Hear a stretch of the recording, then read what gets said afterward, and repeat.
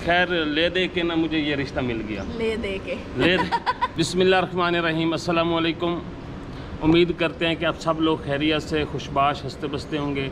हम भी अल्लाह के करम अब याद आई है। खुद भी कहा था सलाम। मैंने इनको ये कहा था कि भाई जब हम वीडियो बनाते तो आप भी सलाम किया करो आप भी मैं ना पहले दिल में करती हूँ आप लोगों को सलाम। दिल में याद रखती हो? नहीं सलाम भी करती हूँ ऐसे दिल में। अच्छा अच्छा। वो आजकल पता है क्या होता है ना दिल दिल वाली बात नहीं आती किसी दिल वाली बात किसी को नहीं समझ आती असल बात जो निकलती है वही बात होती है। अच्छा सिर्फ़ जबान की बात? जबान की बात। अच्छा। हाँ तो जी डी और व्यूवर्स कैसे हैं आप सब लोग? उम्मीद करते हैं कि आप सब लोग खैरियत से होंगे। और आज हम हमारे पास ना कुर्सी असल में एक है।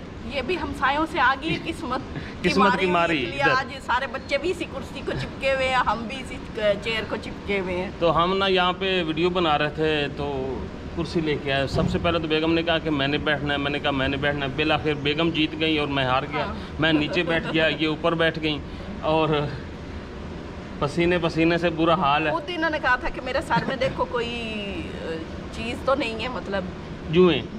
जुएँ। मैंने कहा था कैसे ना खारिश खारिश होती है। तो ये कह रही है गर्मी गर्मी से होती है गर्मी से ना ऐसे पसीना हाँ। सा और दाने से बन रहे हैं। आजकल ना बड़े अजीब सी सिचुएशन है हमारे यहाँ। शहरी को इतनी गर्मी दाने पित्त जिसे कहते हैं गर्मी दाने निकले हुए ना बेचारा रोता रहता है। और निकले भी इसी अगस्त के मौसम में हाँ, है। हम्म। अच्छा तो आज हम आप लोगों के साथ बड़ी स्पेशल वीडियो शेयर करने वाले हैं। जब हमारी शादी हो रही थी ना इनसे तो आपको जैसा कि आप काफ़ी लोग जानते हैं कि ये हमारी आउट ऑफ़ फैमिली शादी है।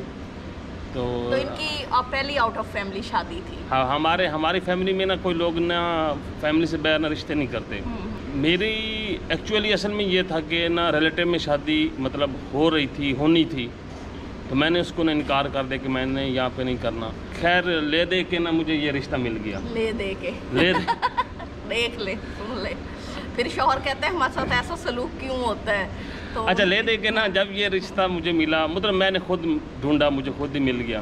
तो घर में मैंने बात की अपनी वालदा साहबा से कि ना भाई अब रिश्ता मुझे मिल गया है माशाल्लाह से टीचर हैं तो अच्छा चल जाएगा। मैं भी टीचर हूँ हमारा सर्कट घर का सर्वाइवल भी सही चल जाएगा तो मैंने शादी करनी उन्होंने कहा अच्छा भाई मेरा पुत्र शादी तो करनी है ना तो तू जान ते तेरा काम जाने ते असी तो इतने कोई नहीं खर्चा करना तो साड़ी मतलब कोई नहीं नाराज़ थे ना हाँ नाराज़ थे। नाराज़ थे जैसे पेरेंट्स नाराज़ हो हाँ जाते हैं हाँ असी मुझे कोई नहीं खर्चा हम हम वैसे राज़ी हैं हम पे हम ना तेरा खर्चा नहीं करेंगे शादी का खुद से तू नहीं करना है। उस वक्त मेरी तनख्वाह कितनी थी? बारह हज़ार। हाँ ग्यारह बारह हज़ार मेरी तनख्वाह थी दो हज़ार तेरह बारह बारह तेरह की बात है हाँ। बारह की बात है। मैं बड़ा परेशान मेरे पास कोई पैसा नहीं है कोई किस्सा नहीं कोई कहानी नहीं है और शादी हमने रख दी। ये ना इतने स्लो किस्सा सुनाते हैं ना किस्सा भी डूब जाता अच्छा अब आप सुनाओ जी हाँ। नहीं नहीं आपको पता आपके साथ सलूक हुआ है जो भी। अच्छा मेरे साथ तो सलूक हुआ था ना।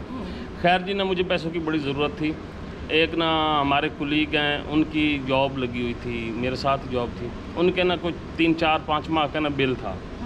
वो नहीं उनका आ रहा था। कुदरती बात ऐसी हुई कि ना उसका बिल बना तीन चार माह का तो गलती से ना मेरे अकाउंट में उन्होंने पैसे ट्रांसफ़र कर दिए। जब पैसे ट्रांसफ़र मैं गया सैलरी लोगों का नाम एक जैसा था? पता नहीं कैसे गलती हुई कोई पता नहीं कि अकाउंट वालों ने कैसे गलती की।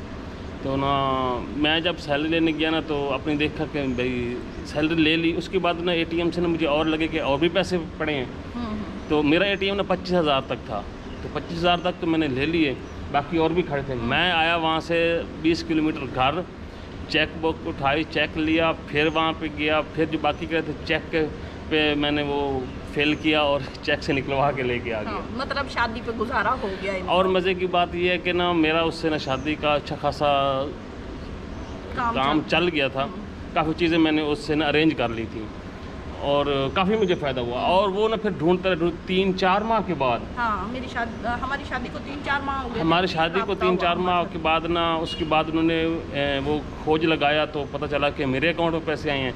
फिर वो खैर हमारी किस्तें बनी थी। हाँ। किस्तें लेके ना हमने उनको ना फिर रिटर्न कर दिए थे पैसे। लेकिन अल्लाह भला करे उनका जिन्होंने गलती से भेजे थे भेजे थे। लेकिन मुश्किल वक्त में ना हमारे वो बड़े काम आए थे पैसे। तो हमारा हक बनता था कि हम उनको ना ये भी रिटर्न करें।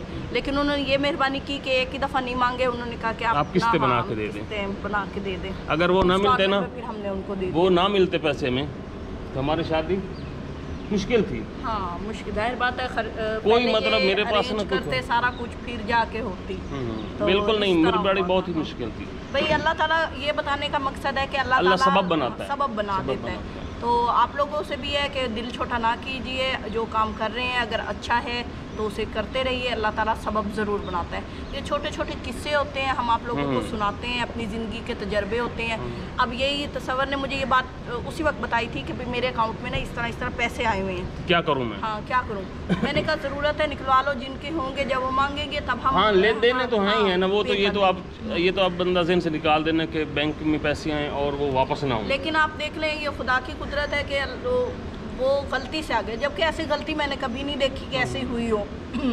क्योंकि इतनी बड़ी अमाउंट नहीं थी कि कोई इधर से उधर हो जाती। हम्म, हम्म। तो वो बस ये मैंने कहा आप ये समझ लो कि अल्लाह की तरफ़ से मदद आई थी।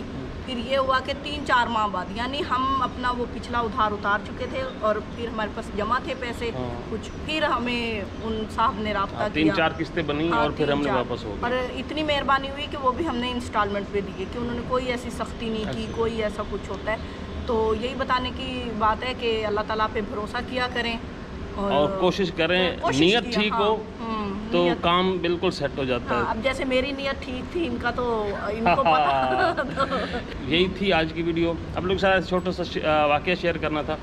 उम्मीद करते हैं कि आप लोगों को ज़रूर पसंद होगा। नेक्स्ट वीडियो तक जाते दुआ में याद रखें। अल्लाह हाफिज़।